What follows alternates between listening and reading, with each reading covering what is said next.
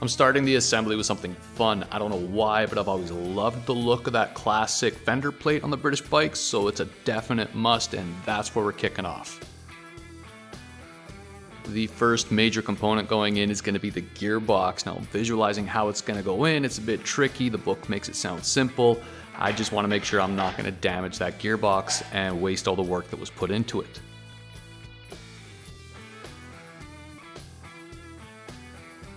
I'll be completely honest, once the gearbox was in, the rest of the assembly around it was very straightforward and simple.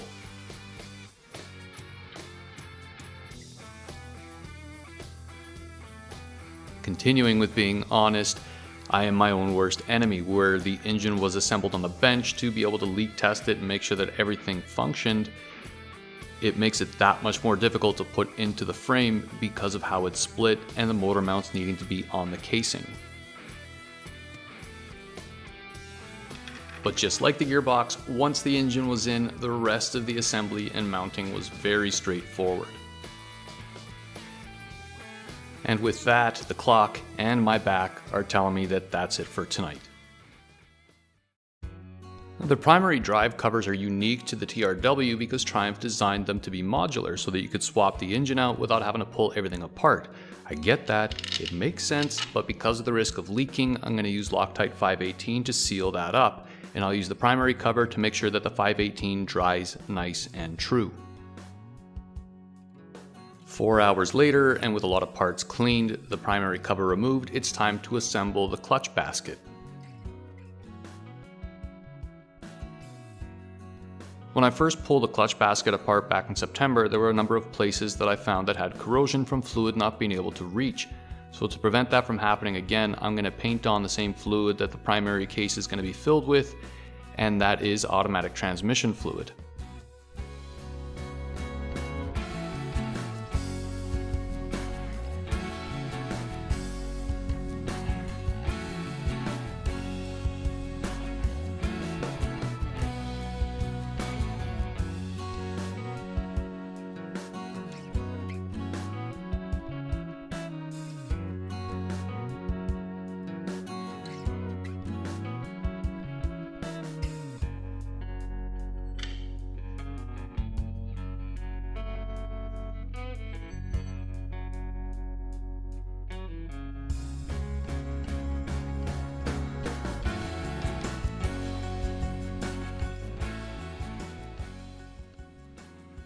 In order to make sure that the clutch pressure plate sits true, I love using this little setup with a toothpick. And any part of the plate that's offset, you will definitely hear.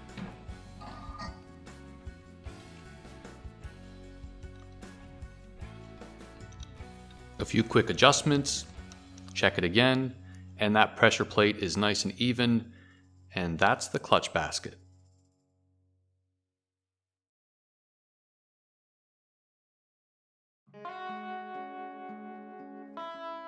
While cleaning and inspecting the rear sprocket before installing the rear chain, I heard this unmistakable sound. That faint ping came straight out of the hub and on a stationary wheel. I knew what it was, but I didn't want to know what it was, and this by far has scared the crap out of me more than anything else with this bike. Without the wheel being hung up on a frame, the momentum of the tire itself wasn't there to motivate that spindle to turn, so you can see it fight both forwards and backwards. So this again was pointing to what I was worried about that was going on inside the hub, more specifically with those roller bearings.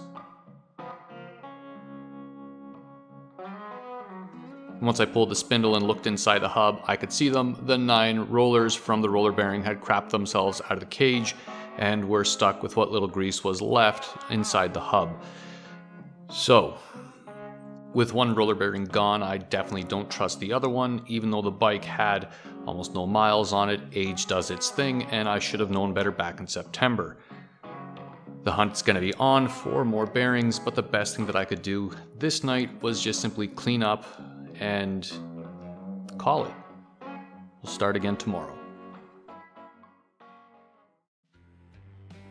I was lucky enough to be able to source bearings and dust covers out of the UK, and while they're being fast tracked, my focus went back to the primary side. Because I pulled the stator out of the primary cover in order to clean and inspect both, upon installation I need to make sure I still have 8 thousandths of an inch clearance between the six coils of the stator and the rotor. Uh, luckily no adjustments were needed, and so the primary cover assembly was taken off, everything was cleaned up, 518 was applied, and then the cover was put back on, screwed down, and given time to cure.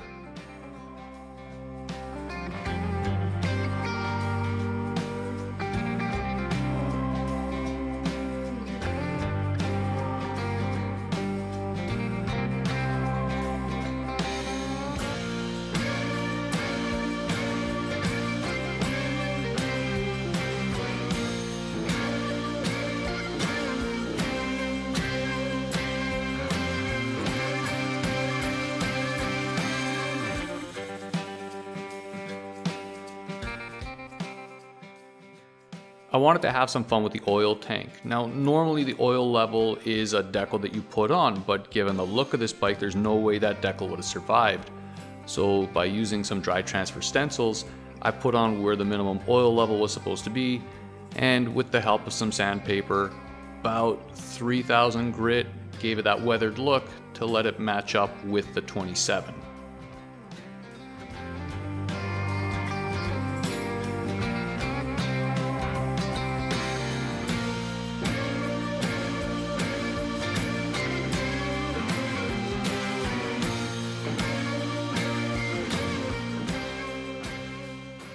With the oil feed line connected back to the engine. It was a good time to call it a night. It was definitely better than the previous one.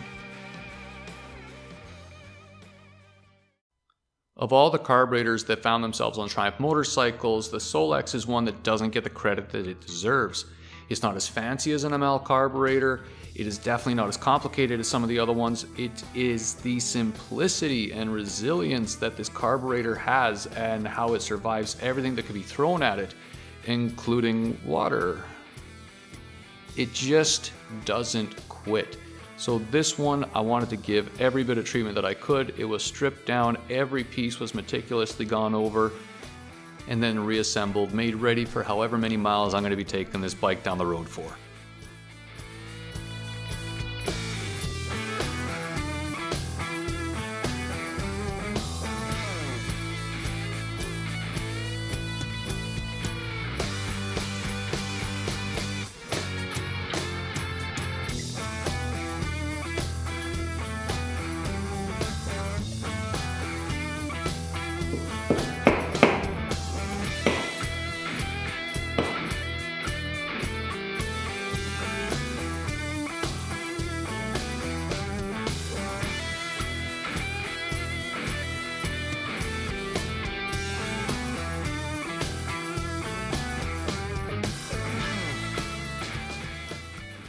With that Solex now at home on the back of that side valve engine, a quick check of the throttle cable to make sure that there's no binding inside of it, and with the action nice and smooth, that is the end of the night, and soon those bearings and dust caps should be here.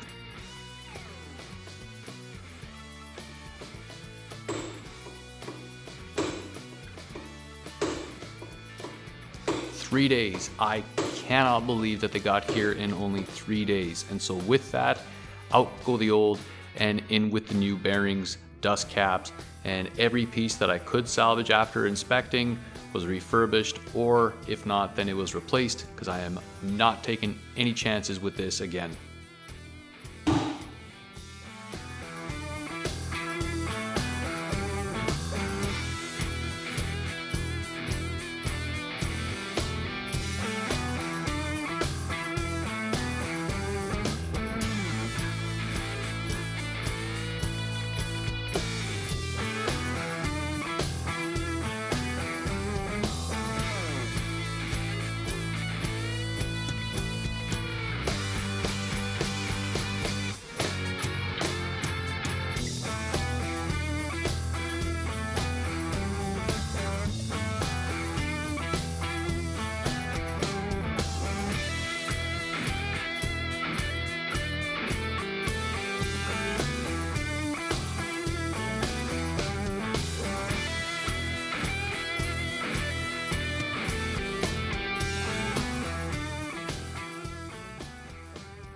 After giving the brakes a check to make sure that those new shoes aren't binding up at all, rotating the wheel and hearing nothing, I am much better off than where I was a few nights ago, and it's back to installing that rear chain.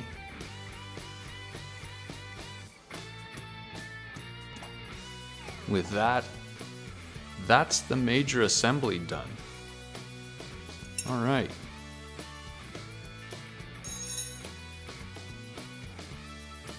This is the last night this bike's gonna be on the bench. Wicked.